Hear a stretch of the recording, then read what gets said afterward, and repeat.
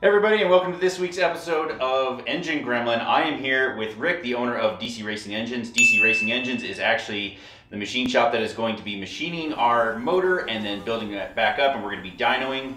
Uh, Rick, uh, thank you guys for you know taking on this job. Absolutely. You guys do great stuff. Um, so tell us a little bit about yourself and DC Racing uh, before we go get to machining the block. So DC was uh, founded back in the 70s early by a guy named Dave Capriotti. So I started working for Dave in about 1995 and uh, purchased a business here about six years ago. So uh, been doing this a long time myself. uh, I was a part of the the NASCAR Cup team here in town. We did their engines for a few years. We got lots of experience with what we do here. Yeah, so you guys, and I know you guys tend to speci- specialize in high performance Yeah. racing engines. So- mostly mostly race engines, but we do a lot of LS stuff and uh, just got more into the street performance stuff here because of the race engine kind of the racing industry is kind of going away. So Mhm. we kind of moved on, took our experience and brought it into the automotive hot rod world. So Awesome. Cool. That's so yeah, if you guys need work done on your racing engine or you know street performance, be sure to give uh, Rick and DC Racing a uh, give Yeah, them a holler. give us a so uh, yeah, yeah, thanks. well, thank you, Rick. Yeah, you bet, buddy.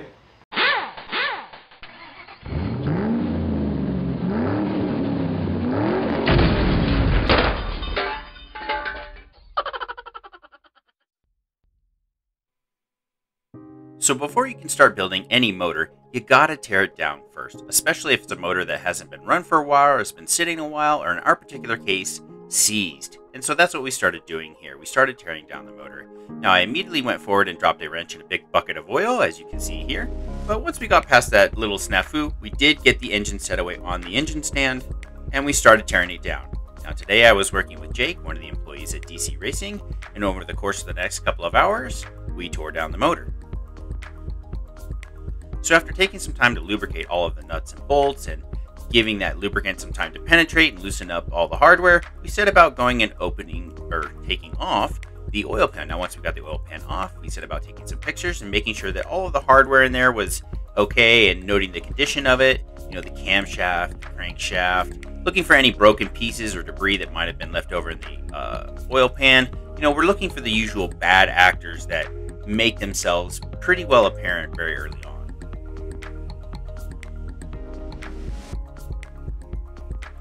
And once we got the oil pan off, we flipped the motor back over and we took off the valve cover, and then we proceeded to take off the head.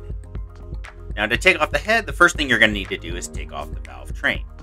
Before we took off the valve train, we did some cursory inspections, making sure that everything was still well lubricated, everything was moving freely, there weren't any areas of particularly bad wear, and taking pictures so that we could go and retrace our steps and reference them later.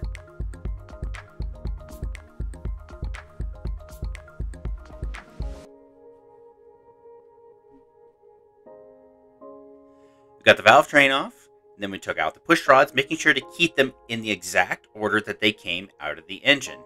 And this is because when push rods are in a motor, they have particular wear patterns, and we also want to make sure that if there were any that had very bad wear patterns, we could identify which cylinder they were associated with. After that, we set about taking off the exhaust manifold, and the exhaust manifold was a particular booger to get off because, you know, being in a place of such high heat and all of those exhaust gases, the bolts were pretty well eroded, so we had a couple of them break off, and during the process, we had to make sure that we backed them out carefully as to not damage the block. Again, whenever you're breaking down a motor, make sure you take plenty of pictures. Not just so that you can put it back together with all the correct hardware, but it also helps you reference what you did in the past. And if you're looking to troubleshoot a problem, you can usually identify it from your documentation. So make it a point to have good documentation and label everything when you're taking down a motor. We then removed the water pump and then finally took off the head and got our first good look at the cylinders. Now, I had already had a good look at the cylinders from trying to unseize the motor from previous uh, videos, as you saw earlier. However, this was a good chance for Jake to finally get a good look at the pistons and see what we were dealing with and kind of identify the general condition of the motor. Next came the belt drives and the harmonic balancer. Then we set about taking apart some of the miscellaneous bolts that were throughout the engine block. We had one in particular, as you can see here, that was particularly difficult. It would just not come out. We tried a 12 point extractor nut, we tried lubricant, we tried heat, we just couldn't get it out. So that was something we were going to have to remove at a later date. We followed that up with the timing chain and the timing chain cover. Once we'd taken about the entire top end, we set about taking out some of the freeze plugs, and then we started working on the camshaft. The Camshaft took a little bit of time and effort because it was pretty well pressed in there, and the lubricant was eh, so-so. But we did eventually get the camshaft out using a rubber mallet. Once we got the camshaft out, we set about taking the camshaft bearings out and examining them. And all in all, they were in pretty decent shape. There was a little bit of wear, but I'm 99% sure these are the original camshaft bearings that came from the factory because they're made of a bronze or copper material. And for a motor with 169,000 miles on them, they were in great condition. I was really surprised at just how good a condition they were in.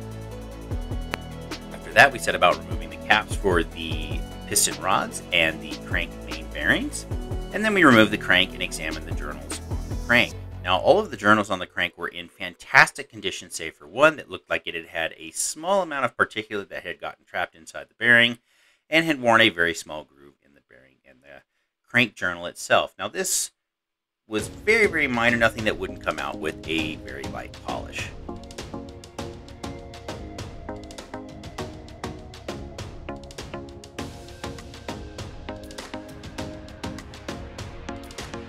After that, we set out bopping out the pistons using a hand sledge, rubber mallet, and a block of wood. Now, those were a bit of a booger because, as you know, this engine was seized, so they were in there, well, a little bit tight. But after a little bit of effort and patience, we did manage to get all six pistons out, making sure to keep all six pistons and their associated rods in the same order so that we could put them back in the engine if we ever reuse them. Unfortunately for us, all of the rod caps, the piston rods, and the main caps are all stamped or marked or labeled uh, in their particular order so that when we go to put this motor back together, even if the parts have gotten mixed up, it should be relatively easy to put them back in the order that they were originally on the motor. After that, we were taking apart some of the more miscellaneous parts that we had gotten to during this engine teardown, making sure that there was nothing that we really missed. Then we just generally turn the block over, doing a general inspection, looking for any forms of disrepair or cracks in the block. Now, this block is going to get Magnaflux, so that's something that we would get a greater amount of detail on, but it's always a good idea to do a cursory inspection of the block for any damage that might be in the cylinder walls or the block or in the water jacketing, just so that you have a record of it. Once we had the motor entirely disassembled, we set about making sure that everything was documented, shooting a quick outro, and then we started putting everything away, making sure it was all labeled so that we knew what everything was and where it was at a later date. All right, everybody, we have successfully disassembled the motor, the entire engine here. As you can see, I'm here with Jake of DC Racing, who was a tremendous help tearing this block down, and I actually learned a couple of things along the way with him. So, uh, Jake, why don't you tell us what you think about the block, you know, state of the motor, you know, just kind of give us a quick rundown. We've got plenty of parts to go through here. Uh, yeah, I mean, I really, everything looked pretty solid, honestly. Like, even our main bearings were pretty clean. Uh, the cam bearings were a little worn out, you know, but the cam looks fine. It looks more like a bearing kind of thing, just kind of ate it. Um, and then, yeah, I mean, uh, like, I mean, if we check the oil pump, the oil pump is a little stuck. Probably just from all the stuff falling in, you know. Yeah, um, I primed it with a drill, so I know it at least turns, but okay, it's a little stiff. um, and yeah, I mean, like push rods look pretty pretty clean, no insane wear or anything. So that's good. Uh, rocker arms look good. So yeah, uh, it's pretty cool, honestly. yeah, I mean, I was really happy. So I mean, going over here to the Pistons. Oh yeah. You know, I was surprised to see that you know they have the the copper or brass uh, bearings. You know, but they very well could be the original bearings for all I know. But, I yeah. I mean, you see them. Yeah, I mean this. So this motor has 169,000 miles on it. Oh wow. Um, yeah, so surprising amount. Um, what I was really surprised though was by the mains. The mains look brand really, really, really good. Yeah, um, there was the one. There was the there was the one main. That one. Yeah, that has that wear groove. Some kind of grit or something got caught up in there, and. But I mean, but like otherwise, it, you it, could tell it looks like a rock. or something. Something, yeah. And it didn't really scratch up the crank, so no, going over here to the pan. basic, very light polish, and that thing would be fine. And you Yeah. know, very nice. No, I can't even get Yeah. a nail in the scratches. So, Yeah. Now the the exhaust, on the other hand, was disgusting and just full of rust and deposits and everything. And the valve. It's no wonder I couldn't get this damn engine to start. I mean, if you look up close, I mean, they're not sitting. They're not sitting on their seats very good. There's no way I was getting good compression. So, but overall, I mean, Yeah, I mean it. Uh, it's very clean yeah, for. Uh, looks like it was outside. You know. it was in a barn actually. So it, it had some, but it wasn't. It wasn't prepped when it was stored. So. Um, all right, we'll tell you what, Jake. What you know, just walking people through of kind of what's next. You know, what are the next steps for this? Okay, so the next step, uh, once we get the rest of the stuff out of the block, like this plug and a couple dowel pins and stuff, we'll take it over to another shop who bakes it, Yep. And they'll bake it down to like just metal, like nothing but just clean metal all the way through, Yeah, it just gets vaporized. and then we'll magnaflux it, make sure it's not cracked, you know. Um, and then yeah, we'll like ins- get with you with part on parts and stuff. Yeah, I got a few parts on order. Uh, uh, so yeah, just gotta just start getting the rest of them in. I think the the lead time for the biggest one is going to be the uh, rear mains. Rear mains are like April time frame because this there's no stock. Oh. Pandemic, supply chain issues, just Yeah. it's hard to get stuff. Oh man. Cool. yeah. Well, cool. Well, thank you guys so much for watching, and again, thank you so much to Jake for helping tear down this block.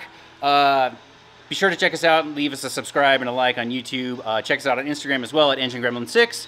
Uh, and like I said, thank you guys so for much so much for watching. We will be back here in the shop to help with putting the engine together after it's been cleaned and baked and machined, and and then eventually we will come back for the dyno. But until then, I will see you guys next time.